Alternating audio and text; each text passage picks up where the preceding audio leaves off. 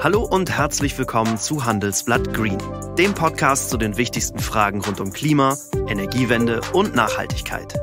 Mein Name ist Alexander Voss und ich sage Hallo aus unserem Podcaststudio in Düsseldorf.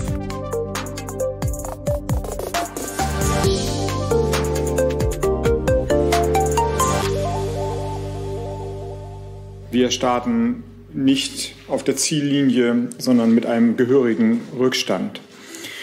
Wir müssen jetzt in den nächsten Jahren effizienter und schneller werden. Das Tempo und die Konsequenz müssen zunehmen.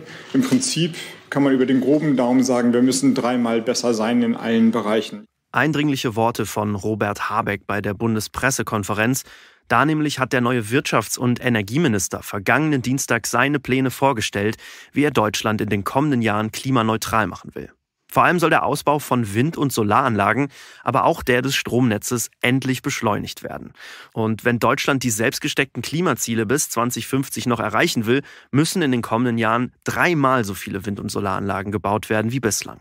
Aber ist das überhaupt zu schaffen und was kostet das und vor allem, wer bezahlt das am Ende? Unser Chefredakteur Sebastian Mattes hat Robert Habeck auf dem Handelsblatt Energiegipfel genau diese Fragen gestellt.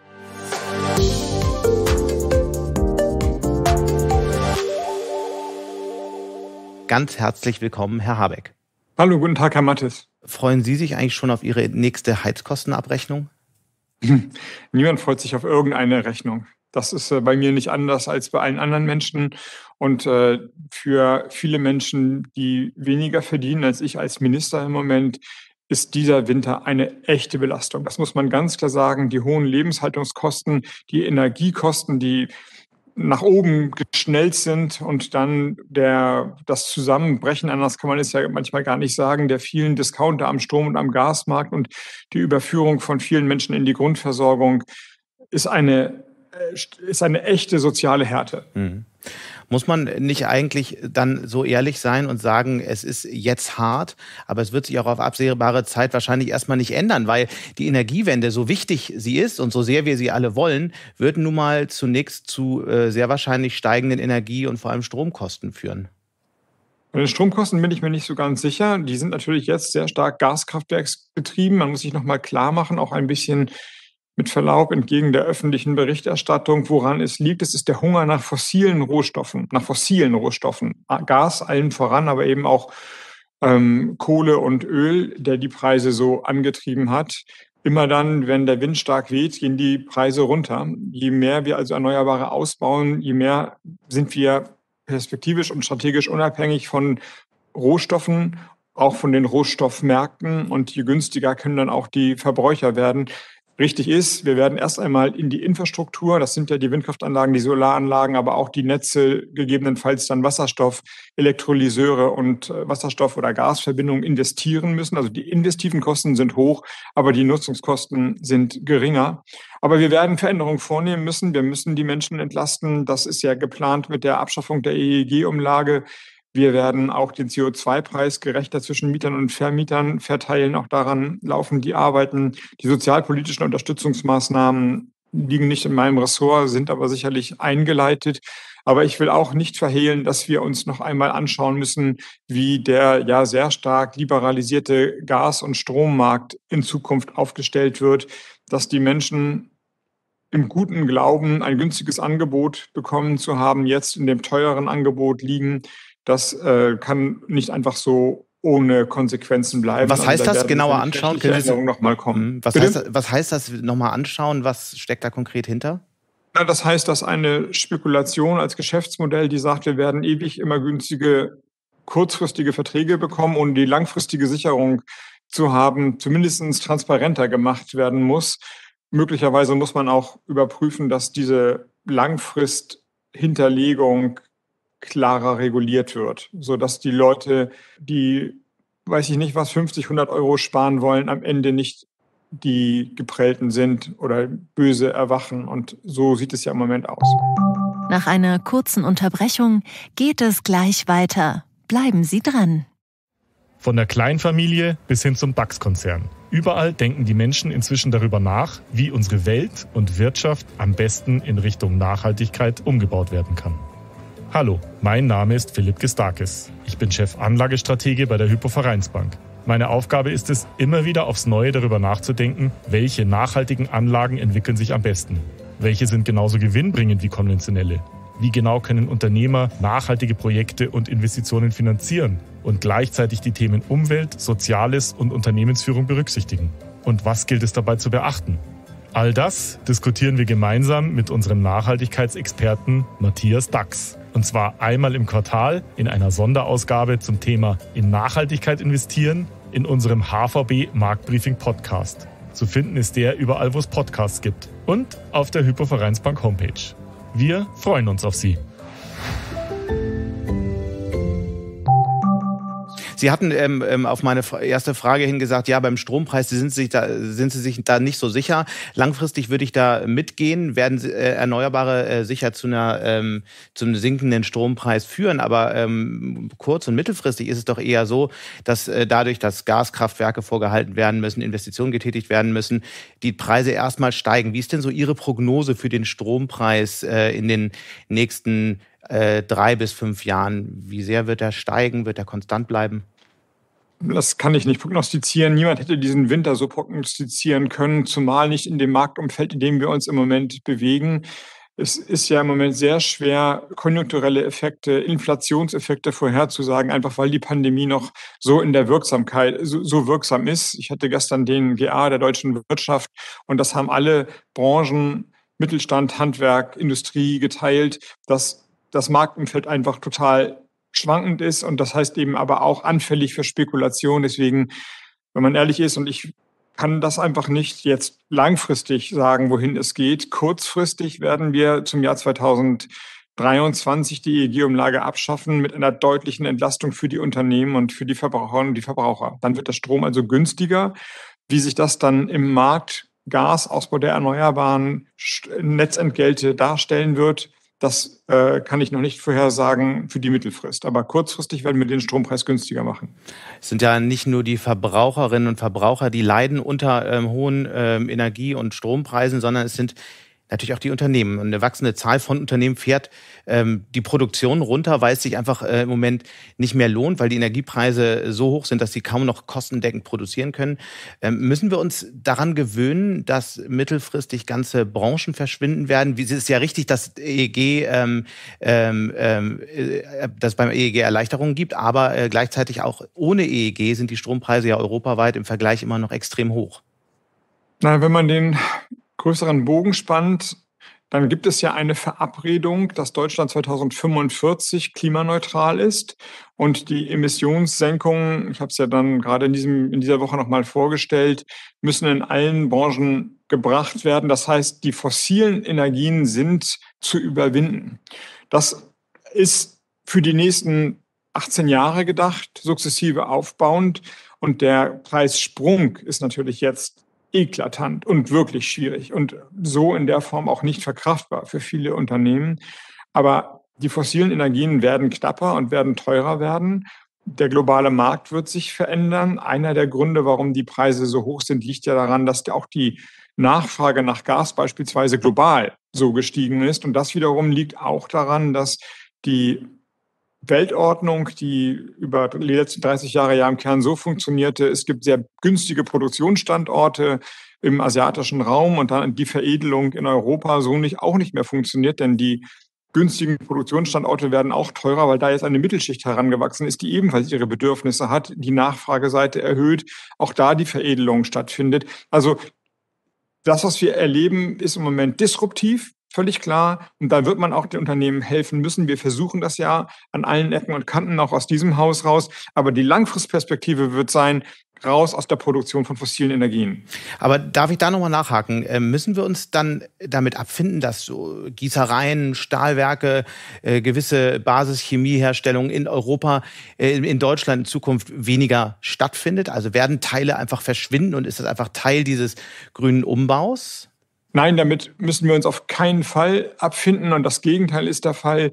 Gerade die, der Aufbau einer grünen Wertschöpfungskette. Grün ist nicht parteipolitisch gemeint, sondern einer CO2-freien, nachhaltig Wertschöpfungskette ist die beste Chance, die wir als Standort haben. Und auch im internationalen Wettbewerb, denn die Klimaschutzbemühungen sind ja international verabredet. Das heißt, die Unternehmen, die industrielle Produktion, die, äh, der Mittelstand, das Handwerk, sie werden alle davon profitieren, aber nicht indem wir das bewahren, was international überkommen sein wird, sondern indem wir die schnellsten, die innovativsten und die besten sind, die neuen Techniken auf der Basis von erneuerbaren neuen Energien aufzubauen. Und so sind die Förderprogramme, die IPCIs, die Unterstützungsmaßnahmen, die Ausschreibung hier alle ausgerichtet in diesem Haus, von der Batteriefertigung über die Mikrochips, über die Digitalisierung bis hin zur Wasserstoffproduktion und dem Wasserstoffverbrauch in, den, in der Grundstoffindustrie. Diese Programme laufen jetzt und wir laufen mit den Programmen in einem Wettlauf gegen die Zeit in einem internationalen, hochkompetitiven Umfeld. Dann lassen Sie uns mal kurz über dieses Instrument sprechen, das ja den Unternehmen helfen soll bei diesem grünen Umbau. Die Differenzverträge, von denen Sie ja in den vergangenen Tagen auch viel gesprochen haben. Ähm, zunächst mal ganz kurz, mit welchem Volumen rechnen Sie da? Wie viel wird da in den nächsten Jahren investiert werden müssen? Das Volumen soll nicht die ganze sein. Also das investive Volumen ist beziffert worden durch den BDI und der ist äh, im, im, im hohen dreistelligen Milliardenbereich oder im mittleren dreistelligen Milliardenbereich. Also es ist wirklich bis zur kompletten Klimaneutralität der deutschen Wirtschaft. Äh, aber wir haben uns in den Koalitionsgesprächen darauf verständigt, dass das was gebraucht wird, finanziert wird. Die Frage ist, kann es abgerufen werden? Aber es soll nicht an staatlicher Unterstützung mangeln. Natürlich wollen wir auch nicht überfördern, aber die Unternehmen, die jetzt in die Umstellung gehen wollen, die sollen dabei unterstützt werden und ausgeglichen werden eben immer die Preise, die nicht am Markt realisiert werden können. Und ist das eine, ist das eine Subvention oder letztlich eine Art von Kredit, die der zurückgezahlt werden muss? Ist mir egal, wie man es nennt. Hauptsache es funktioniert. Aber wird, muss es zurückgezahlt werden von den Unternehmen? Nee, das, das, das Modell sieht so aus, jetzt, wo wahrscheinlich grüne Produktion, Wasserstoffproduktion noch teurer ist, als der Markt eigentlich aufnehmen kann, zahlen wir die Differenzkosten, deswegen Differenzmodell. Perspektivisch wird es einen Kipppunkt geben, weil dann die Produktion ausgeweitet wird, weil die CO2-Preise steigen, der Zertifikatehandel nach oben geht und dann wird sie günstiger werden und für den Zeitraum, auf den man sich dann vereinbart, wird dann zurückgezahlt. So gehen wir, die öffentliche Hand, der Staat, der Steuerzahler, erst einmal ins Risiko, aber je nach Laufzeit, und das wäre dann eben im Einzelfall auszuhandeln, kann es dann auch die Kosten wieder reduzieren. Und das sind auf der einen Seite die Investitionskosten für neue Anlagen und so und gleichzeitig auch die Betriebskosten. Genau. Das, was an Differenz drüber ist, kann ausgeglichen werden. Und dann wird man jetzt im Detail für die verschiedenen Industriesparten sich anschauen müssen, was sind die Erwartungen, was sind die jetzigen Kosten, wie ist das Marktumfeld, wie schnell ist ein Hochlauf möglich, wie lang sollen diese Verträge gelten. Das sind dann ja das kann man nicht über einen Leisten scheren. Das ist also nicht trivial, das Ganze zu strukturieren. Aber der Idee nach gibt es einen Pakt, wo man sagt, es gibt eine Sicherheit, eine investive Sicherheit, dass man damit auch arbeiten kann. Und umgekehrt gibt es für die öffentliche Hand die Perspektive, wenn das Ganze funktioniert, wenn sich der Markt umstellt, dann wird auch nicht überfördert, sondern ein Teil dessen, was man als Vorschuss bekommen hat, zurückgezahlt. Und wenn es nicht passiert, ist die öffentliche Hand halt im Risiko. Lassen Sie mich eine letzte Frage zum Thema Wasserstoff stellen, weil das ja ein ganz, ganz wichtiges Element in dieser Strategie ist. Sie haben ähm, in den vergangenen Tagen immer wieder gesagt, Sie wollen die Wasserstoffstrategie neu aufstellen. Können Sie ähm, zwei, drei konkrete Dinge sagen, die in den nächsten äh, Monaten klar werden, die in den nächsten Jahren konkret werden? Zum Beispiel die Wasserstoffpartnerschaften international. Wann werden die äh, konkret sichtbar und belastbar? Die Mengen werden erhöht werden von 5 GW auf 10 GW.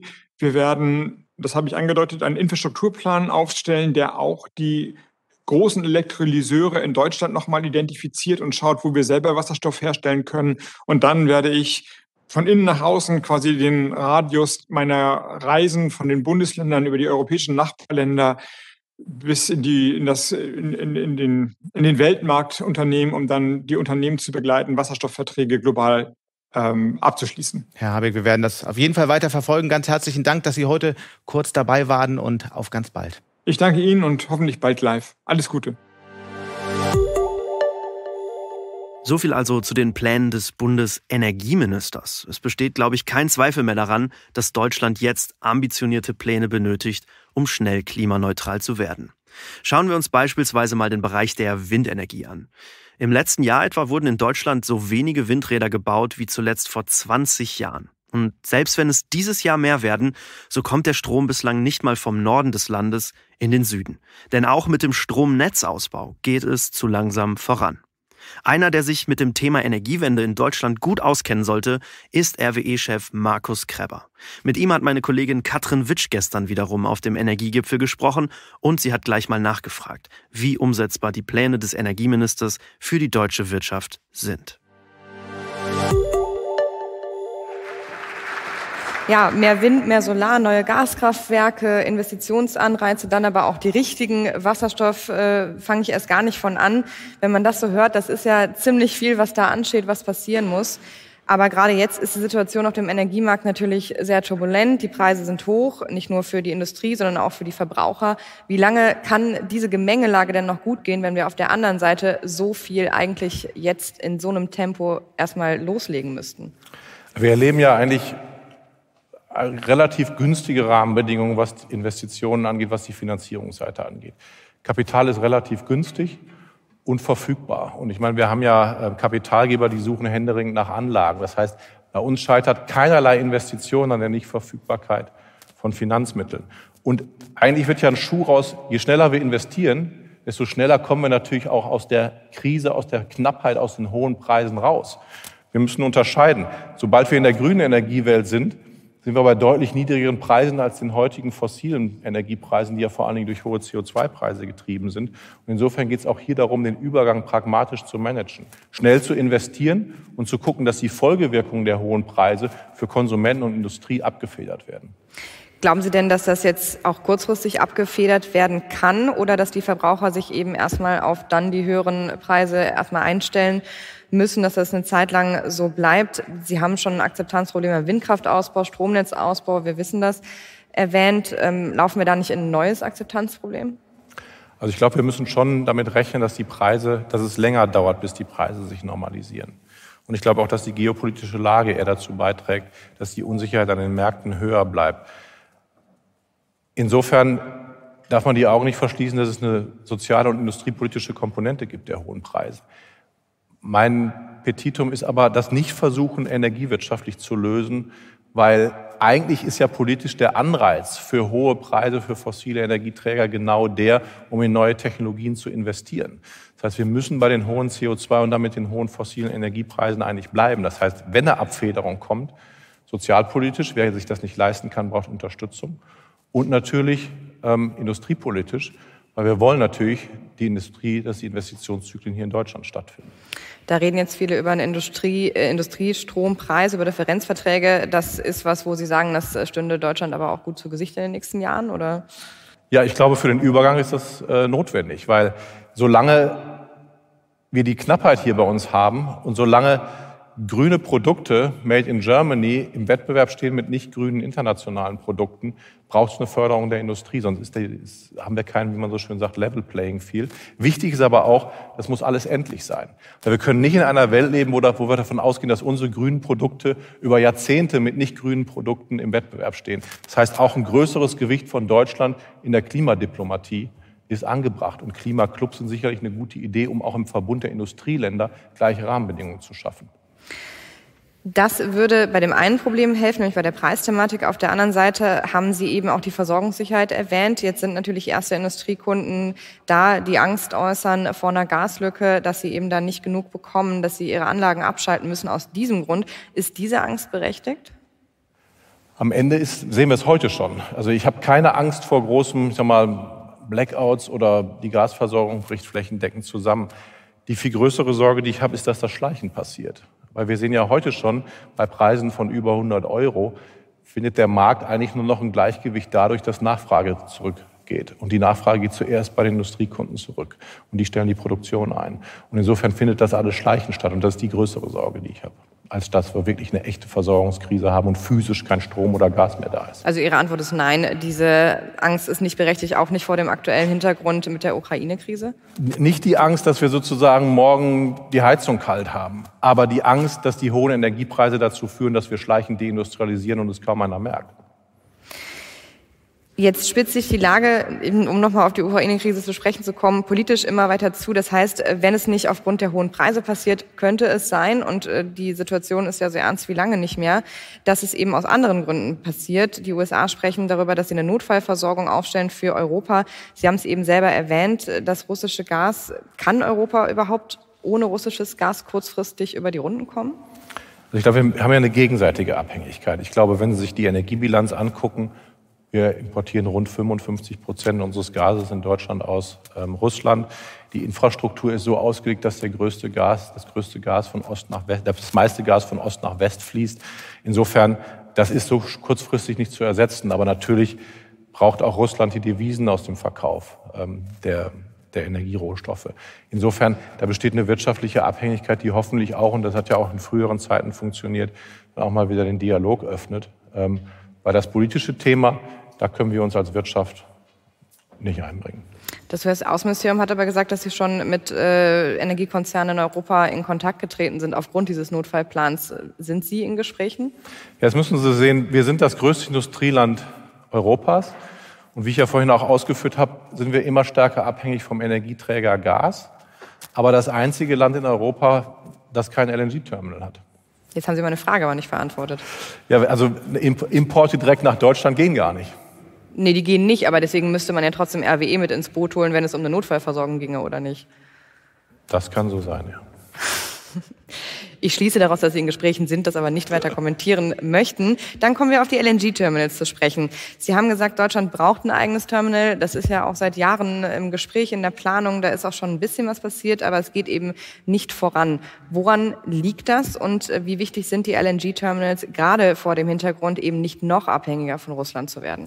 Das ist eine interessante Frage, weil wenn all, angenommen, wir würden ein LNG-Terminal bauen, und die Krise löst sich wieder auf und es gibt keinerlei Sorgen, was die diversifizierte Gasversorgung angeht. Dann wird das russische Gas über Pipelines immer günstiger sein als globales LNG. Das heißt, das LNG-Terminal wird wahrscheinlich gar nicht genutzt.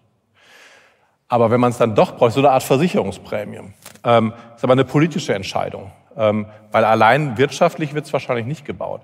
Insofern ist die Frage, ob es eins geben wird oder nicht, eine politische Frage der Diversifizierung, was die Versorgungssicherheit angeht. Und was es braucht, ist eigentlich den politischen Willen, eins haben zu wollen, so wie wir es auch in anderen europäischen Ländern gesehen haben. Das könnte die Debatte natürlich jetzt äh, weiter anstoßen. Ähm, wie würden Sie das denn sehen jetzt mit Blick vielleicht auf Nord Stream 2? Wenn wir jetzt ein LNG-Terminal hätten, dann bräuchten wir ja vielleicht diese Pipeline nicht so unbedingt mehr. Trotzdem brauchen wir natürlich sehr, sehr viele neue Gaskraftwerke. Das heißt, wir werden auch in den nächsten Jahren wahrscheinlich äh, einen Anstieg des Gasverbrauchs sehen. Also wie sind da Ihre Einschätzungen und muss das über Pipeline kommen oder kann das nicht vielleicht doch eher aus politischen Gründen über ein LNG-Terminal kommen in Deutschland? Ja, am Ende muss man unterscheiden, wo das Gas nachher über welche Infrastruktur das wirklich kommt und welche Möglichkeiten man hat, wie viel Flexibilität und Optionalität darin liegt. Also ich glaube, was die reine Menge des Gases angeht, reicht die Infrastruktur aus. Ähm, es ist eher eine Frage der Diversifizierung. Also man bräuchte Nord Stream 2 nicht, ist das, was Sie sagen? Da würde ich schon mal sagen, das können Sie Herrn, äh, Herrn Maubach morgen fragen. Das machen wir sicher. Ich schaue noch mal, ob ein paar Fragen reingekommen sind. An der Stelle auch immer äh, erinnere ich immer gerne unsere Zuschauer auch Fragen zu stellen in Slido. Äh, hier haben Sie die Möglichkeit. Hier steht eine Frage, die wie wollen wir die Bevölkerung davon überzeugen, dass neben dem erneuerbaren Ausbau H2 und Stromnetze, na, die war wohl noch für Herrn Wissing, sehe ich gerade, die kam eben erst rein. Aber gut, ähm, so, könnte China durch höhere Klarheit für Investitionen einen Wettbewerbsvorteil zur Marktwirtschaft bekommen und wie könnten wir hier gegensteuern, ist eine Frage, die da reinkommt. Die Systeme sind unterschiedlich und ich meine, Sie sehen Vorteile ähm, kurzfristiger Natur, die hat man durchaus in China, ähm, wenn es da um die Energieversorgung geht. Aber am Ende würde ich sagen, ähm, findet große Teile der Energieversorgung natürlich ähm, dann doch lokal statt. Das heißt, es geht um die Frage, wo ist die Industrie wie wettbewerbsfähig. Und ich glaube, am Ende ist auch das eine energiepolitische Frage, die in der Klimadiplomatie gelöst werden muss. Solange wir gleiche Rahmenbedingungen haben, egal ob Stahl oder Automobil, was auch immer gebaut wird, hier oder in China produziert wird, solange die Rahmenbedingungen gleich sind, sollten wir uns, glaube ich, dem Wettbewerb ähm, stellen. Denn ich glaube, das hilft, die Öffnung der Märkte hilft am Ende auch politisch. Aber es braucht auch, wie gesagt, die gleichen Rahmenbedingungen. Was nicht funktionieren kann, ist ein grünes Produkt in Europa gegen ein fossiles Produkt im internationalen Wettbewerb, was keinerlei CO2-Bepreisung unterliegt. Eine letzte Frage, und zwar genau auf dieses Thema hinsteuernd haben wir die ganze Diskussion der, in der Europäischen Union über die Taxonomie mit Blick auf Atom und Gas. Das ist in Deutschland sehr umstritten. Wie sehen Sie das? Soll das eine grün, als grüne Energiequelle gelten? Da kann man zwei Blickwinkel drauf haben. Sie können die Diskussion, ich sag mal, nennen wir es mal ideologisch führen. Was ist eigentlich grün? Da fehlen mir jetzt die Kriterien bei allem Möglichen. Oder man sagt, wir haben noch ein pragmatisches Problem zu lösen. Das pragmatische Problem ist, wir müssen die CO2-Emissionen reduzieren. Und alles, was dazu beitragen kann, ähm, ist ja erstmal positiv. Und insofern kann natürlich ein kann die Kernenergie einen Beitrag äh, leisten. Für Deutschland ist das Thema abgeschlossen. Die Entscheidung ist getroffen. Die ist auch irreversibel. Aber dass die anderen europäischen Länder sagen, unsere Anlagen sollen weiterlaufen, weil ansonsten würden sie ja durch fossile Anlagen ersetzt müssen, kurzfristig, ist absolut verständlich. Und genauso kann natürlich Gas auch einen Beitrag leisten. Wenn wir Gaskraftwerke haben, die dann vorübergehend für fünf bis sieben Jahre auf Erdgas laufen und dadurch Kohle ersetzen können und dann später auf Wasserstoff. Warum soll ich die Investition nicht jetzt tätigen? Warum soll ich bis 2035 warten, bis der Wasserstoff verfügbar ist? Warum sollen die erst dann grün sein? Weil in der Zwischenzeit führen sie auch zu einer Reduktion der CO2-Emissionen. Und mit dem praktischen Blickwinkel spricht viel dafür, dass man beides ja schon in einer anderen Kategorie hat, nämlich als Brückentechnologie mit auch bestimmten Bedingungen. Und das war's für diese Woche von Handelsblatt Green. Wenn Sie Fragen oder Themenvorschläge haben, schicken Sie uns einfach eine Mail an green@handelsblatt.com. Bis zum nächsten Mal.